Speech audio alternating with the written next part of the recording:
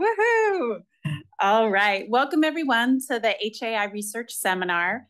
Uh, my name is Jennifer Hicks. I'm Executive Director of the Wu Tsai Human Performance Alliance at Stanford, and really thrilled to introduce our speaker today, who is Ellen Kuhl. Uh, Ellen is the Walter B. Reinhold Professor in the School of Engineering and Robert Bosch Chair of Mechanical Engineering at Stanford. Uh, her area of expertise is living matter physics, the design of theoretical and computational models to simulate and predict the behavior of living systems. Ellen has published more than 200 peer-reviewed journal articles and edited two books. She's also an active reviewer for more than 50 journals at the interface of engineering and medicine, as well as an editorial board member of seven international journals in her field. Um, Ellen is also a member of our executive committee for the Wu Tsai Human Performance Alliance and part of our digital athlete uh, moonshot research program. Uh, in today's seminar, Ellen will discuss how the gold standard in biomedical modeling has long been to select a model and then fit its parameters to data. Uh, but the scientific criteria for model selection remain poorly understood, and the success of the approach really depends largely on user experience and personal preference. Uh, she proposes a new constitutive model that outperforms traditional approaches, one that could fundamentally change how we simulate biomedical systems. Uh, so really excited to hear the talk. But before we begin, a few logistics details. Uh, so we have folks here uh, in person and also on Zoom. Uh, we'll take questions at the end. For in-person folks, we'll pass around a mic. Uh, for the Zoom audience, you can use Zoom chat to message the group, but make sure you ask your questions through Slido. Um, you can click on the link that will be posted in the chat shortly.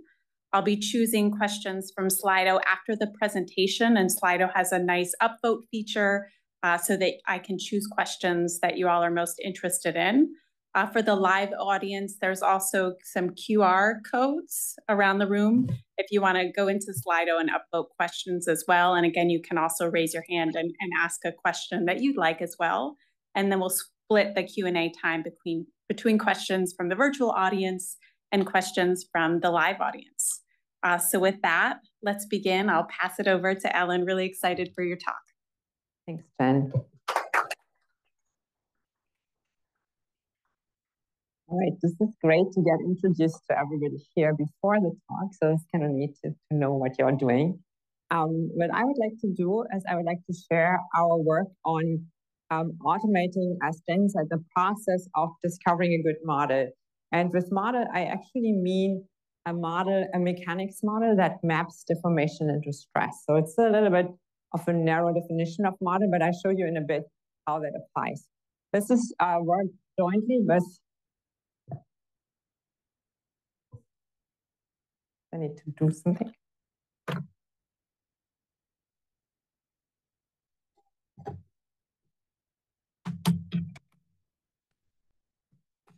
Lost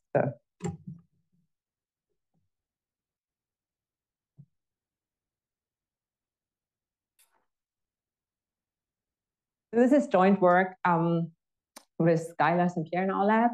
And then uh, also um, uh, Kevin Linka, who is a postdoc in, um, in Germany. Matthias Billing is a postdoc in the Netherlands. Adrian Buganza, who is uh, an assistant professor at Purdue, who was associate professor at Purdue, was with our uh, lab for a while. Um, and then uh, also international collaboration. And so what I'm focusing on is I'm focusing on different types of discovery for different types of organs. And I'll also show you how we can um, apply that then to simulations directly. And that's all going to be parts of the human body. So it's interesting for um, human performance in the sense if you want to understand parts of the body. So that includes, uh, for instance, the heart, that includes the brain, um, that includes skin. And we want to create models from that. Um,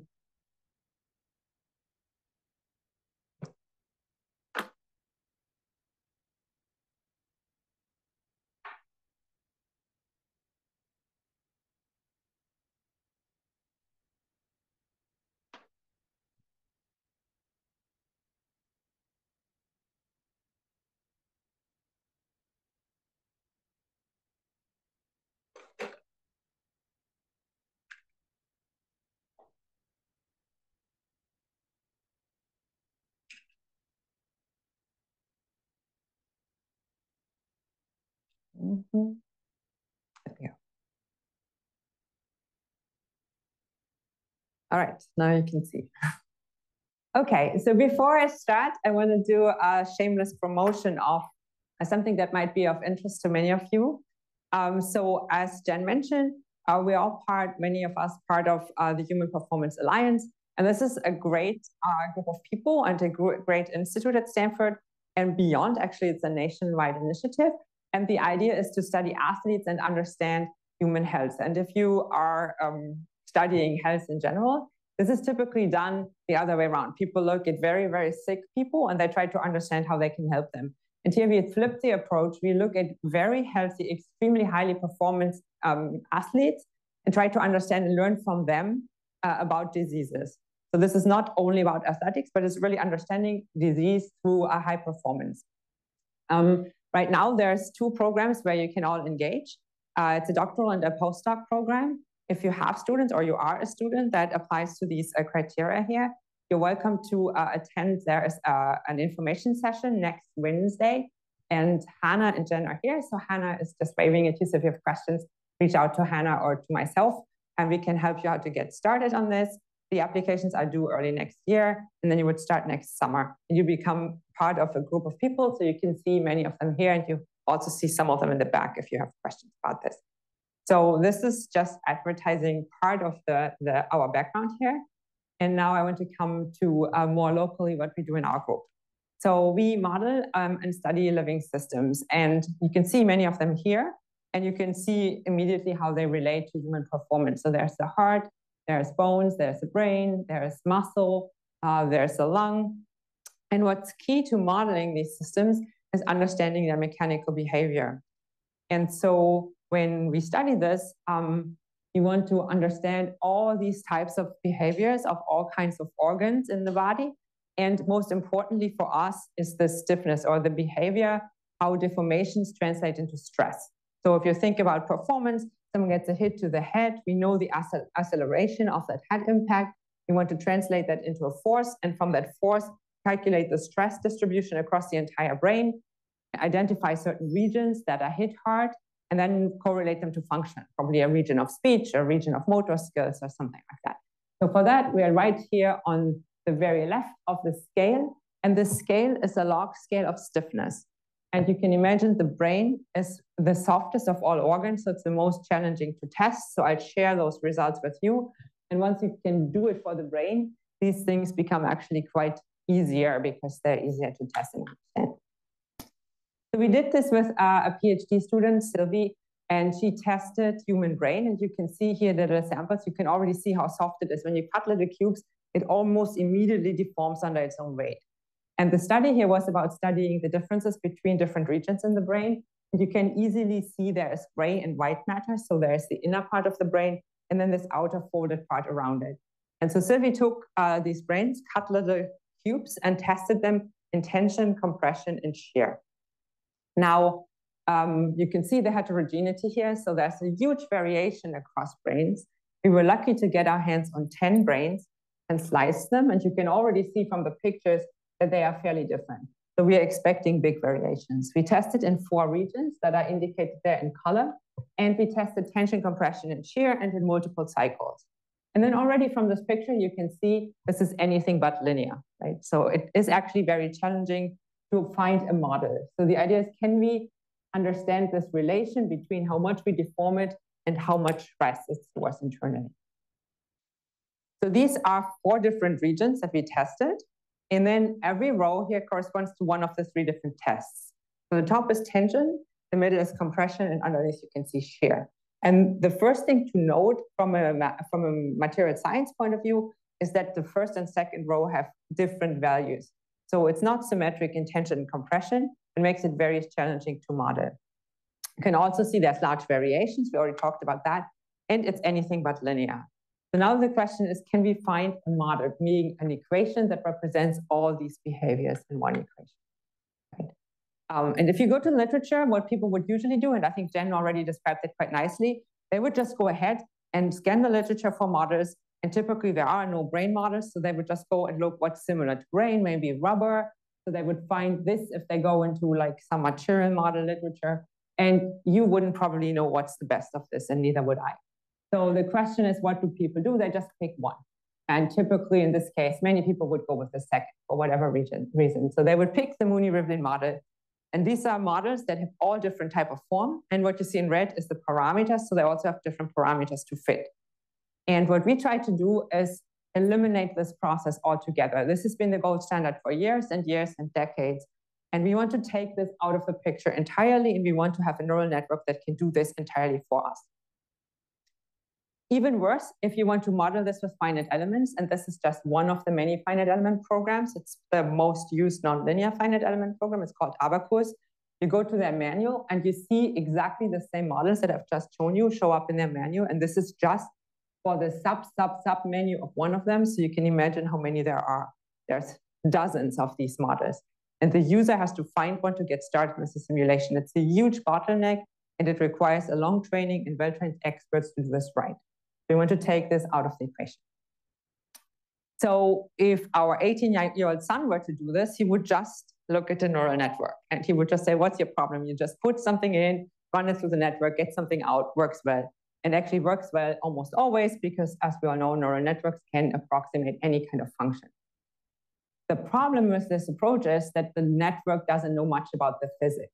So we'll give you a function, but the function would not reflect any physics, and we can't really learn from the function. It's just a function that fits the data quite well. Typically, when people do neural networks, they use these kind of what's called activation functions, and you can see they all look very different from the stresses I have shown you. So some have a jump, some have a kink, uh, some go have horizontal tangents, and that's all things that we didn't see in the stress. So these don't seem to be very useful functions for us. So what I'm going to do is I'm going to reverse engineer functions that are more useful and a network, network architecture that's also more helpful. And here's why. If you look at this, um, you will probably identify this function that you can see, and that's a tangent hyperbolic function. After the last data point, the curve just flattens out. And that's simply because that's what the tangent hyperbolic function does. So it just flattens. And so after your last point that you train on, you would just predict something entirely random. Also, these parameters are non-interpretable. And most importantly, and you can see this here, they violate physics. So there's oscillations in this case. You can see there's only very few data points. You try to fit a complex network, so you're overfitting, and then you have a behavior that's non-physical. And here you can see it very well, but not always does it display so well. And sometimes it's hidden and you just see it in the full big blown simulation. And especially when you work with clinical simulations or biosimulations, this can be quite critical to the patient. So the idea is, can we do better? And what we do is we want to hardwire all the physics knowledge that have that material science people, physicists, um, mechanics people have acquired over the last 50 years or so, and build this into this network, hardwire it in right from the get-go. And the idea is at the beginning, we can constrain the input to the network. And there's a couple of technical terms here that tell you how you can constrain it. And at the end, we also want to constrain the output of the network. And there's also a couple of technical terms. And then in the middle, you can see not everything is connected here. And that's also important to ensure that the function that we learn is fully convex and doesn't have these oscillations. So there's a couple of things that we hardwire into the structure, and then we get a physics-informed neural network. I'm not saying we're the first people to do this. This has come up over the last year and a half or so. So these are papers that have just come out in the last 12, 18 months. Um, and it's a huge, huge push with the idea of discovering science from data and really discovering science, not just discovering curve fit, but really can we learn anything from the network? And so there's a, a vast body of literature. Um, people do it slightly different from us, and I can show you where it differs. Um, but I'm just saying this is the field in material science at this point, actually. So this is a kind of networks more specifically uh, that we have used. So this is called the deformation gradient. So this encodes, encodes for the deformation that we imply to our little sample. Uh, we extract invariants. We build the identity or the square. And then we just build the identity exponential or logarithmic function and add this all up and then calculate the stress. So you have 12 color-coded nodes in your second and last hidden layer. So you have a combination of 12 terms. And combinatorics gives you 2 to the power of 12 different models. So you can combine any of these colored nodes with any other because the functions are all different. You span a functional space of 2 to the power of 12. So that's 4,000. And that's just for illustration. You can do it with more and more if you find good functions. But now we're screening with one run for 4,000 different models. We also reverse engineer the activation functions. You can see this here. This is the functions of our last layer. So they can be linear, exponential, or logarithmic. And these look much more like the stresses I've shown you before. So they're actually smooth, they go through zero, they're monotonic, they don't converge to a horizontal tangent. So do all the nice things that we actually see in the stress uh, measurement. So now um, talking about data, we're sharing all the data. We've, we've, cleaned it up. And if you work with data, you know the much of the work goes into cleaning it up. So we cleaned it up for you. So if you don't have your own, you can go to our GitHub channel and try it, download it, and run it. If you have your own data, you could just clean it up to make similar and then just run it over that. So this is how it always looks. This is all the data that we extracted from these experiments. You can see there's four regions, there are three tests, and there's uh, the means of about 30, 20 to 30 tests on each of these columns. So now if we fit this, um, we have the training on tension, the training on compression, and the training on shear. And then there's the prediction on tension, compression, and shear. So on the diagonal, we actually train. And then on the off diagonal, we predict the behavior of the other tests with what we've trained. And this is something a regular neural network couldn't do. So for example, what this is, is predicting the behavior in shear when you train the network with just the tension test. And you can see you actually come quite close without even ever having done a shear test. Um, this last column is doing all three together. So we train on all three. And obviously then we get the best fit uh, all together. And we can then also reduce the number of terms. So that's what we call the discovered model. So now our language or our understanding is when we train on all three tests, we gain a model, in this case only has four terms instead of all 12, and that's one of these 4,000 models. In this case, they're all blue. And that's new because if you work on the brain and you look at all the literature, people usually, usually use these terms to do it in the first invariant. So there's more use of red terms. Nobody actually ever uses blue, but it turns out that these terms are better. So from a modeling perspective, you actually learn something about what's the better selection here. This is for all four regions. And you can see all terms are in this blue category, which is kind of like a nice understanding interpretation from a material science perspective. Um, you can then also recover all of these models that I've introduced you earlier um, by just going a certain path through the network. So for example, take the green model. The green model comes here and it goes this path. And that's what's called the Blatz-Ko model. And it uses just this term. It can force all other weights to zero and can use the same structure to just use this model and identify its parameters. So we can do this for special, special cases that are just included in the set of uh, 4,000. And if we do this, you can see the fit of the models that people generally use. So these are four of these popular models using only one term. You can see they don't fit uh, the curves as nicely as what I've shown you with the automatic discovery. And you can see and quantify this even better if you look at the goodness of fit. So this is looking at the R squared value. So this is how far away we are from the data. And the colors are these uh, special models that people have used in literature. And the gray is our model. We want this to be close to one. As you can see on the diagonal, they're almost all close to one because they fit the data.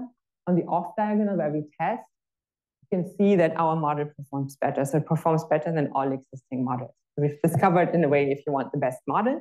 And not only that, if you look at the individual columns, you can also find the best test for the model to train itself. If you look at the column that has the highest R values, that would be this one.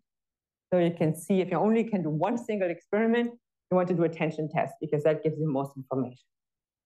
So that's quite neat. I'm just showing you where we use this, just to give you a flavor where we use stress analysis in the brain. So like I already mentioned, a hit to the head is a classical example. There's also examples in surgery where the surgeon cuts open the skull and the brain swells out. So if you have a, a hematoma or swelling in the brain, you need to give it some space. And we simulate those processes with surgeons. We also simulate brain growth and folding of the brain when a child, when the brain is developing. And then there's also simulations here of Alzheimer's, how the brain is shrinking and the stresses focus on that. So there's a lot of applications where stresses are critical in understanding the brain. Um, the next thing then people said, okay, well, well, it works for the brain. And you just said at the beginning, it translates. And once you understand the brain, um, it's not entirely true. So some tissues are not like the brain. So if you look at your skin, for example, you see lines, and those lines make it anisotropic. So they make it behave differently along the, the wrinkles and orthogonal to the wrinkles. And so this is because this is collagen fibers, and the collagen fibers stiffen the skin in that direction. You can see the anisotropy if you look at your skin. And we do this by having two extra terms here. You realize there's two more. So we make a broader um, range of terms. And now we can discover models from 2 to the power of 16 from 60,000 models. And we do this for skin data. And this is the skin data. You can again download and look at it. Uh, you can see skin is not tested in tension compression shear. It's like this thin layer. And typically you want to test it in uh, biaxial tension. So it, you hook a little um, sheet of skin onto the device, and then you can test it in two directions independently. And then you can recover classical models that people have used. And I want to draw your attention to this model. This is the most widely used model in biomechanics. It has one term that's dark red, and that's a linear term that's supposed to describe the matrix of the skin. And then this term describes the behavior of the collagen fibers. So it's a two-term model. So let's see how it performs. You can see the data here, but the model doesn't perform quite that well. Um, it doesn't fit in either of the two directions that skin was tested. These are the two terms, and you can see it's actually way off. And it's surprising that so many people are using it, probably because they never really look exactly in the fit that they do. So we use our network without knowing this and just run it again. And you can see it's a great fit. If you compare the two models, the second term, this Turkey's term is exactly the same. And that captures the exponential behavior, but also the other red term captures exponential behavior of the matrix. So this is actually telling you that the matrix of the skin is not linear, but also exponential. So there's actually something to be learned about this. Now you can say this works for pig, this also works for rabbit. So we looked at rabbit data as well. So discovering exactly the same model, the exact two terms out of 60,000 terms are the best terms to describe this. And that's actually quite surprising. So we're actually quite happy with that result. So um, again, we can compare the goodness of fit. This is the model that people use. This is our model. You can see it comes very close to one. And the only column where it doesn't is where we train in a direction that we haven't tested. So we use skin models to um, describe, for instance, one here is a collaboration with L'Oreal. Uh, they're interested in folding of skin or wrinkling. And the wrinkling is a clear um, function of the different stiffnesses of the outer layer of the skin and the skin underneath. And if the outer layer gets too stiff, you have a different type of folding pattern than, uh, than when it's very soft. So that's why they want to put lotion on it. Um, this is also simulation of skin. This is with a pediatric uh, and reconstructive surgeon. This is not the disease here. This is the treatment. So this is a young kid that is born with this um, black, what's called a nevus. You have to remove that because it can become cancerous. And so in order to remove this big part of the skin, they have to regrow skin on the kid's face and then pull it over, create a flap for reconstruction. And so the simulation can tell you where to grow the flap and how fast to expand this. It sits in over a period of a couple of weeks and then always fills it more and more. And then at some point you can pull it over. And you can see at the end, um, you can pretty much no longer see any of this. You want to do this when the child is very young. So you can have a lot of mechanics. They're interested in, in like guiding this process throughout the way. So now I've shown this for brain, I've shown this for skin. Um, and I want to advertise a class I think open uh, enrollment opens today or tomorrow. So for those of you who are interested, um, there's a class that we're teaching on exactly what I'm telling you today. It's called Automated Model Discovery. It's really happening in the, the winter quarter. And the class in parallel where you can test tissues or we can send your students to test tissues. So we have these two devices that I've just uh, talked about. So this is for uniaxial and uh, tension compression testing, and this is for biaxial testing. And I give you an example of a student project from last year where student tested tissue. And this was a cool application that I'm actually most excited about because this was testing something we had no knowledge about. Um, this is Skylar and Divya and Ethan, and they decided last year in this class to taste artificial meat. And as you can imagine, this is something that's super, super important because the, the market of artificial meat is incredibly exponentially increasing. And that's just for environmental reasons and many other reasons. So of course, it's important for public health, animal welfare, food security, and for the environment. The market itself is hugely exploding. And the interest here is to understand the mechanical signature of artificial meat because the mechanics of meat is um, supposed to be correlated to the perception of taste. So if you ever eat like very soft tofu, you probably wouldn't relate it to meat product. But there's a lot of artificial meat products now that have the stiffness of real meat. So these three students tested Tofurky, which is a, a tofu-like um, turkey, a chicken, artificial chicken, and real chicken, and compared their results. And since nobody has ever done this, they have discovered the very first model for artificial meat. So here's the data, and here's the model. So this is tension, compression, shear again, and then they discover a model. Now, one thing that sometimes happens, and that you can see here, it looks kind of cool because it's so nice and colorful, but this model covers the entire spectrum of terms. And that's really not so handy. So we a model that has to count probably out of these 16 terms or 14 terms, it has 12 activated. So that you can't really call this a very useful model. So one thing that uh, works well to reduce the number of terms is there's a, an L2 regularization that you can add to the loss function. And that's the equation up there. And with this parameter alpha, you can screw, like it, screw to play with the number of terms. So if you ramp up this regularization term, you slightly have a slightly worse fit, but then you can go as far as to only have two remaining terms, and that would be these two So depending on how many terms you want to discover, you can also play a little bit with how accurate. So this is uh, comparing to existing models. So you can also use this again to fit and find models that exist and fit them to in this case Tofurky, and uh, actually learn about the stiffness of this material. Um, okay, so that was a, a cool application that came out of a class. And now I want to just at the very end say, okay, we, we were at this point where we said, can we discover this automatically? And uh, we have a good partnership with um, the Dassault Systèmes and Abaqus. And so I told them about uh, nine months ago that we're doing this. And I said, hey, are you guys interested? in implementing this into your code.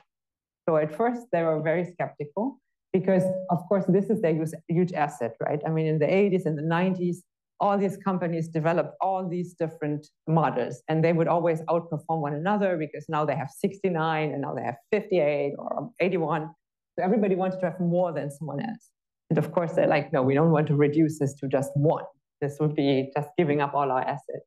And then after like thinking about it for a few weeks, they came back and said, hey, we really want to work on this with you. We want to have one, one subroutine, one function that captures all of this.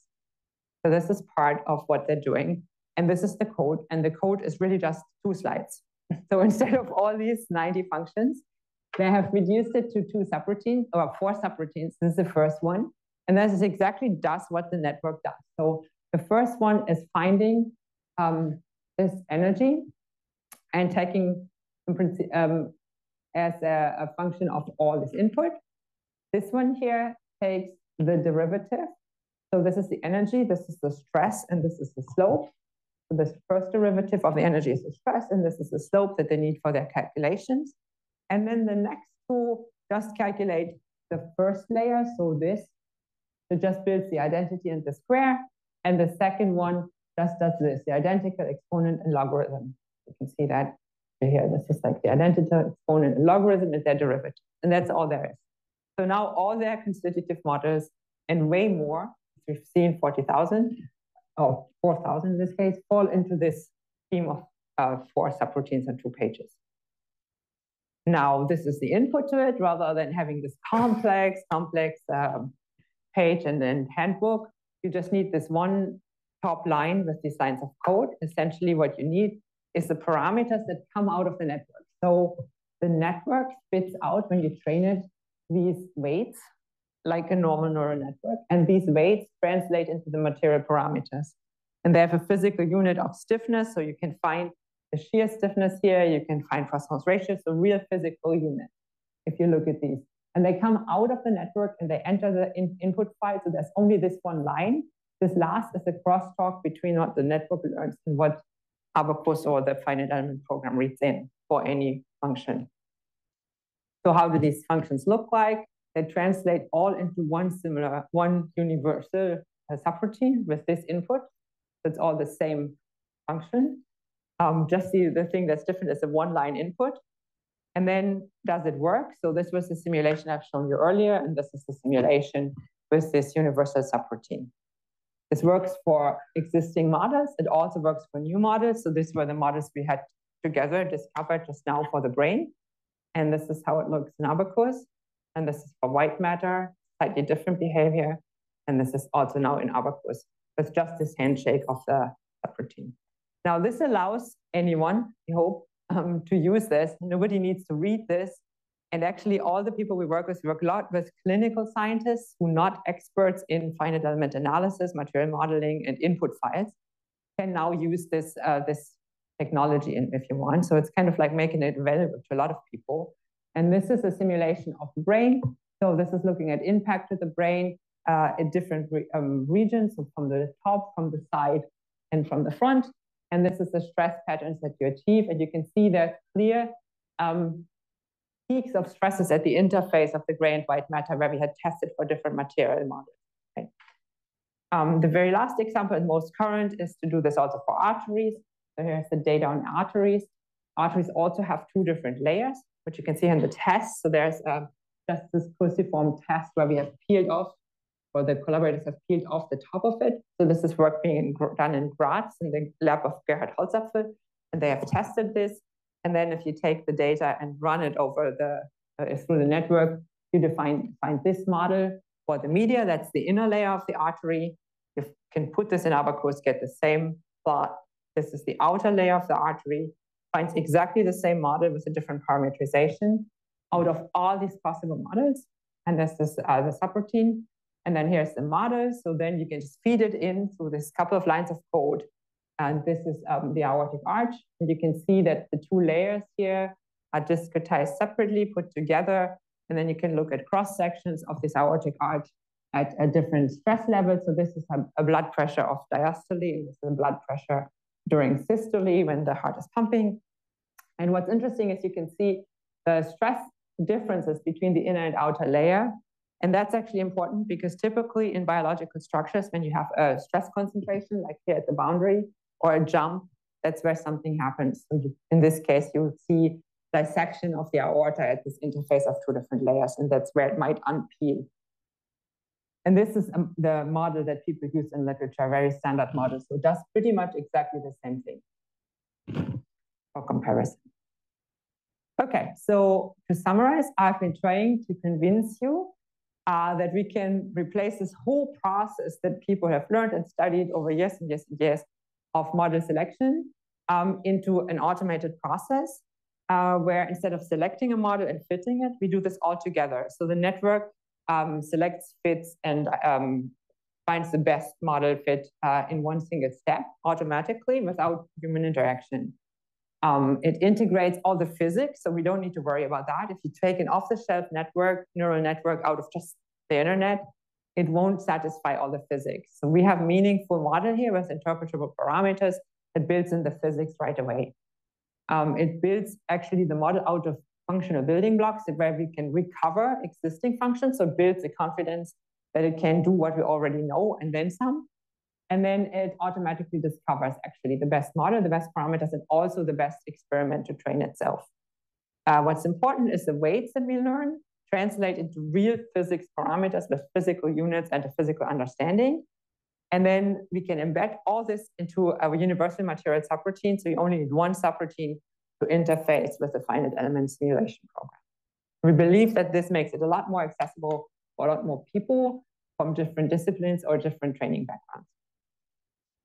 Um, these are the people who've worked on it. Um, most of this is on GitHub. So if you're interested in playing with this, you can find it here. And if you need help uh, getting started, please reach out. We're happy to get you set up and start this. Um, I'd like to advertise the class, and then I like to end on putting this up again um, to end if people have questions to reach out to either Hannah or Jen after the talk. Thank you.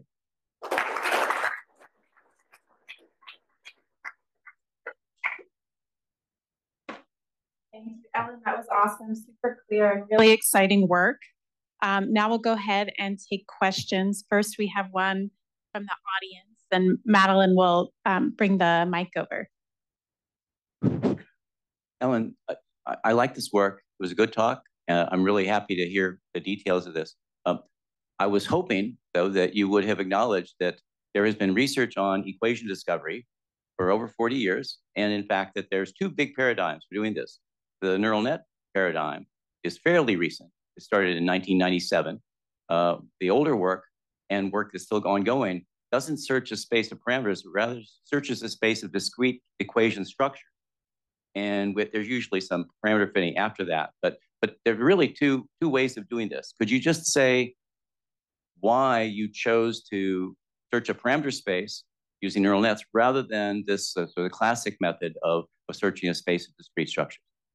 Um, yeah, sure. So we have, I mean, you're absolutely right. We're not the first to discover a model. We're using constitutive models. We're looking at uh, material models for living structures and models that map stress into or deformation into stress. So we're not looking at models, for instance, that um, discover partial differential equations or ordinary differential equations. That would be a whole different approach, and that would probably not even fit in this network. We use the network because for our purposes here, it was nice uh, to hardwire everything into the network. There might be other approaches for other ways of discovery, and there might also be other approaches for discovery of constitutive equations. So people use symbolic regression, sparse regression, and other methods to do it. We use this because we can then build on the entire infrastructure that neural networks provide for us. We can combine it with a Bayesian approach, and we can have error analysis and all that built in. Yeah, other people have done this. We can compare what we have found to what other people have found. Yeah. I'm going to use my moderator prerogative and ask a question also. Um, I'm really, it's really exciting that the models produce uh, are somewhat interpretable. And I was wondering if you've used this approach to compare the parameters or equations that are used for different tissues say, disease and non-disease tissue or that artificial meat and real meat that could drive new discovery as far as disease or or in uh, food science, I guess. yeah, great point. So I think the idea of meat, so that was the student project continuing the work with the idea of really saying, okay, can we guide the artificial meat design or operation to make it as realistic and as close to real meat as possible? Um, and in terms, for instance, of the arteries, that's only part. I only showed you the healthy part. There's also a whole section of disease data. And so then the idea is if you get one data set, can you then delineate whether it fits in healthy or disease? Can you use this for diagnostics, for example? Um, and for that, we actually embed this or are currently embedding this in a Bayesian approach where we can actually have a distribution of properties. You've seen there's a huge variation of properties the meat is pretty reproducible, but the brain data was having huge variation. So ideally, you want to have like two curves, a healthy and a disease, and see where they overlap so that you can delineate and use this also for diagnostics. Great point. Yeah. Very cool. Okay, now we'll go and do a question from Zoom. This is from Morgan Huff. Uh, have you been working with MR elastography data or any other non-invasive techniques to help confirm the brain modeling work? um, this individual is interested in electrical impedance, ideally. Yeah, great point. And I'm looking at the expert here who is scanning pigs here in Lucas. We have done that as well. So we can do, uh, we have done elect, uh, elastography for pig brain stiffness. Um, and I think there's experiments currently ongoing. You want to say something about that maybe? Uh, yeah, actually we're Thank you. Uh, yeah, we are trying to do to image like we have a big model, large animal model, and we're trying to correlate mechanical like uh, parameters with that. So uh, yeah, in our hands, elastography hasn't worked too well. Uh, so we are not pushing that forward too much. Yeah. Everybody know how that works? So you put a person, in this case, because it's a scientific study, a pig in the brain in the in magnetic resonance imaging scanner, and you accelerate the head of the brain with like large, uh, with like small vibrations, and these vibrations cause waves, and you measure the wave propagation in the brain, and from that you can back out the stiffness. And I think the question relates to that. So those stiffnesses are great because they're in vivo. Um, the stiffnesses I've shown are actually from cut slices, and you can't make them personal to a living person, obviously. So these are ways to actually study the brain over time in disease or during development um, and see how the stiffness changes. We've done a little bit of that, uh, but also only in animal brain. Another question from our in-person audience.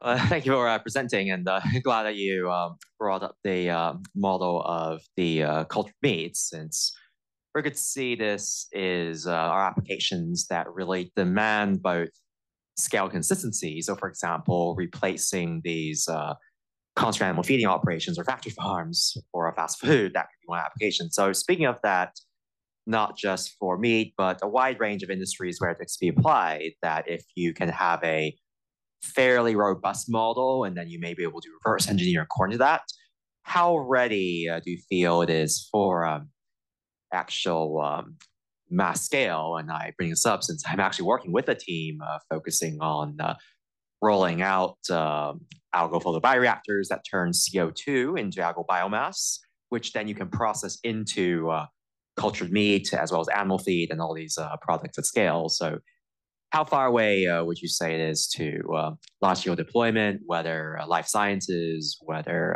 industrial applications, uh, sustainable food, you name it? I think it's a great question, and I think it's one of the most exciting applications. It goes pretty much almost in the direction of generative uh, modeling, where you actually generate new models or generate new materials from the input of the different um, ingredients, I guess, in this case. Um, so ideally, if you can use the, the network to predict correlations between ingredients and properties, and then generate the best material and build it actually, or cook it, or make it, produce it, I think that would be a great application. I think it's an awesome actually area, yeah, and probably an application area we need to explore. Yeah, interesting. All right, we'll do a Zoom and then we'll do an, an in-person question. So from Shayamal Malchandra, have you thought about using a network architecture search or topology network search for the model fitting? Um, we have used this so far and it works quite well for the problems we have in mind. This is only, I should also say, only elastic models. So we are currently doing more complex models where we look at failure, fracture, and those have actually usually a time history. So you'd have to loop over the network. So then the structure and the analysis becomes a lot more complicated. It'd be recurrent neural networks or actually probably these kind of technologies where we manipulate how we run through the network. Right now, we just have a feed forward network where you feed information, you get something out. But if you look at like um, how something damages over time, you would probably have to run through it multiple times or other use other uh, architectures for the network or other solutions. Yeah, this worked well, but expanding this beyond is actually a great application area. then question from the audience here. Um, I'm curious. So we know like for a lot of neural networks, the performance is highly dependent on the data that it's trained on and like how well it works for different types of people. I'm wondering if it's applicable here, um, like for example, for the for this uh, skin. Like, does it matter if the model's trained on people who live in like sunnier areas or you know, etc. It's a great point. So we, I think the so what we thought was cool is it found the same model, meaning the same terms, for in this case pig and rabbit. So it's probably also finding the same for other species or for someone who's more in the sun or older or younger. And then the, the only differentiator is the, the parameters, so the weights in the end. But it would go through the same path in the network, ideally, if you have a robust model. It can be that it's not robust, and that would probably tell you something about skin. So, for example, if your collagen breaks down when you're older, your skin becomes um, more floppy and more elastic and less um, integrated then probably that term will drop out or go down. So I think you can probably discover those things out of the network, ideally, right? And then correlate them back to function. All right, we'll do another one from Zoom. Um, how do you select a subset of model terms and promote other terms to go to zero while maintaining differentiability of the loss and re reproducibility of the training that you showed? It's like a real technical question.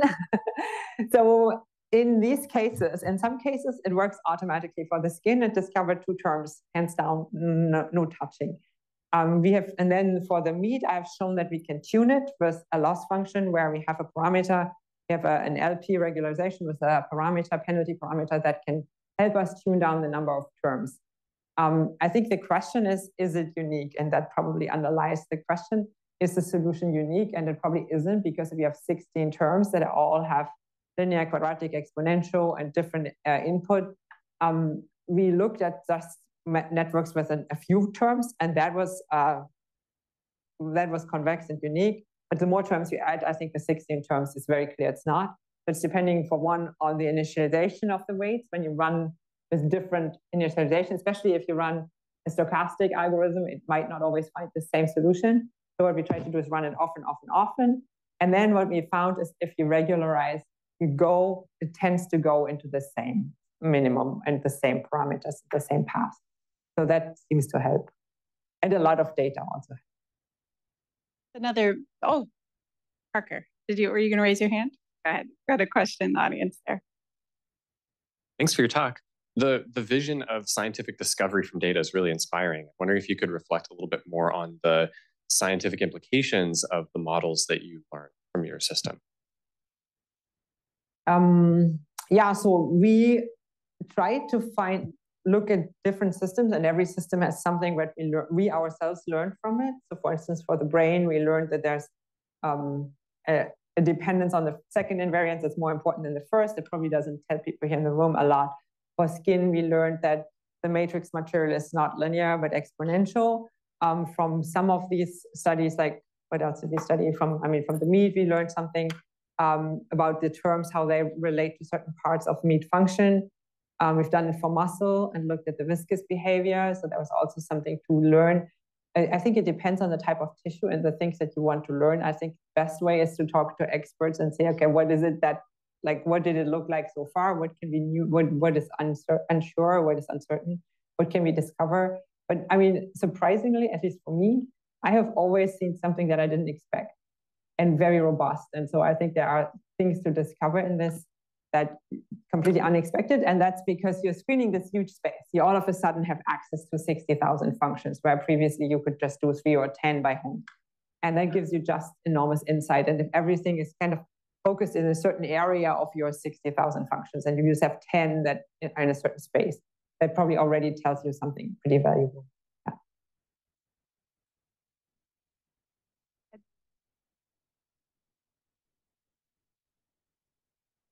Thank you, Jen. So following up on the question, there is, I guess for any of these experiments, the question of uh, the actual sample size. Most of the organs are or tissues are hierarchical. So depending on which size you probe them, then you you might get quite different properties.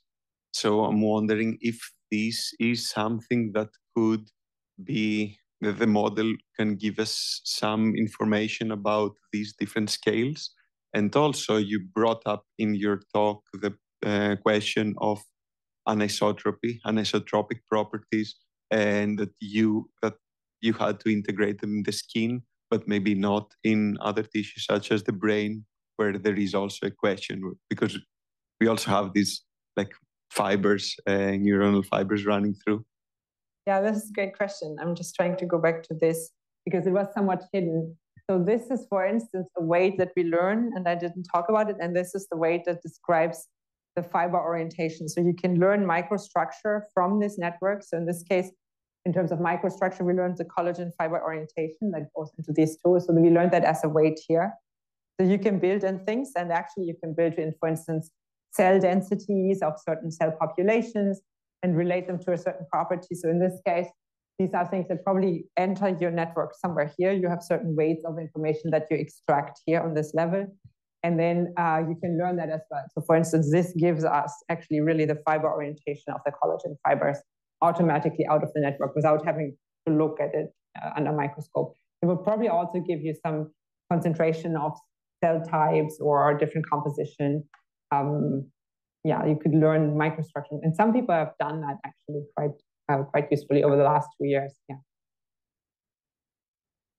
Can you say a little bit more about how, for uh, say the the brain problem, you selected the um, equations that make up the network. Mm-hmm. And I, if I recall correctly, there were sort of the existing models that used a lot of the reds and browns and didn't use any of the blues. Mm-hmm. So where did the blue equations come from? And then those were the ones that ended up getting yeah. selected in the model.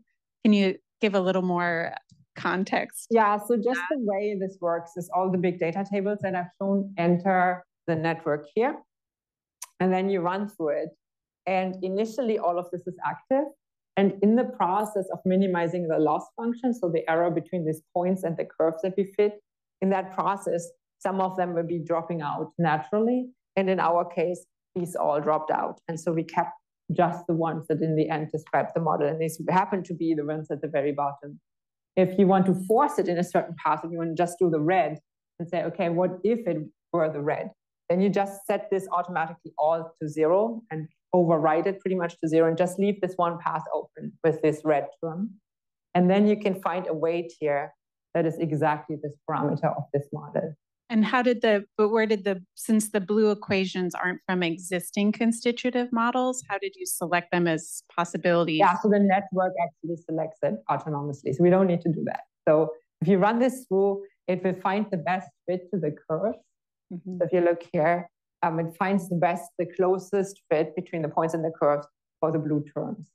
So it actually screens and it iterates about, and probably that was your question, it iterates about a thousand times or so through the network uh, and runs about a thousand epochs. And then in that process, and that was actually also related to one of the previous questions, you down select from these 12, it automatically down selects to these terms and this is probably from my lack of knowledge of constitutive modeling, but like what is the difference between those blue and other colors and like why aren't they not in?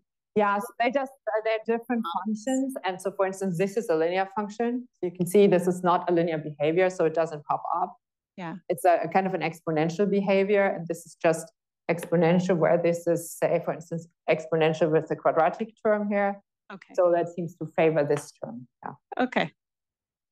But there's not a big deep meaning that you've entered. No, you can, but you can compare it backwards to existing models and say people relate this to collagen fiber expression or something. Okay. Thanks. Another question from our audience here. It's actually a suggestion. I, I really think that it, it, you may in the future you may want to emphasize how small your training sets are. Uh, this is so atypical for neural nets, right? And it's because you used the network structure to define a space of possible models. And again, this is you're using neural, neural network technology, but you're not adopting the traditional let's do everything from data sort of mindset. And that's really distinctive about, about your work. And, and it's also why your models are so naturally interpretable. So I just think you should play that up because in the in the excitement about neural nets, many people buy into all the rhetoric about how oh it's got to be all from data, giant data sets. It's not true. The technology doesn't require that, and you show that it doesn't. Yeah, thank you. That's actually a great point. Yeah, that the physics, and I think I tried to say that, but you're right. That probably needs to be emphasized more. That the physics is built in once, but I mean it's built in now, so now everybody can use it as it's built in. We have time for maybe one more question. Yeah. Yeah, so actually, I think that's a really interesting point. We're do at HA, we're doing a lot of work um, thinking about like sustainability as well. And the question often comes up that there's just not a lot of like data in sustainability, and how can we utilize some of these new techniques that generally need big data? Um, and incorporating kind of the physics into those. So, anyways, I just wanted to comment that this could also is interesting in the sustainability. So, also just saying this is one way, and I think uh, we that was one of the earlier questions. Is this is one way to build in the physics. So this is really hardwired into the network. There's also models to build the physics into the loss function. and then constrain the loss by building the physics and the network. So you minimize the network loss and the physics loss at the same time. Um, this is just building it into the network once, and we think this is a user more user friendly because it's more hidden and they don't really need too much behind scenes. All right, so I think we'll go ahead and wrap up there with that great discussion. And I think a problem we all face is small amounts of data and less than we would like. Um, so want to thank Ellen again for a really great talk and thank the HAI team again for organizing this awesome seminar. So thank you again. And then an announcement also, um, welcome you to join us next time to hear from Ge Wang and Vanessa Parli in the third episode of the HAI podcast series. Uh, on December 13th, they'll be interviewing Srinija Srinivasan, co-founder of Loove and an HAI Advisory Council Vice Chair, and Isabelle Levent, who's a Stanford Symbolic Systems student, co-leader of an HAI working group and off-script organizer on what we really want from AI in the creative world. Uh, we hope to see you all there for this in interactive discussion then. And thank you again for joining us today.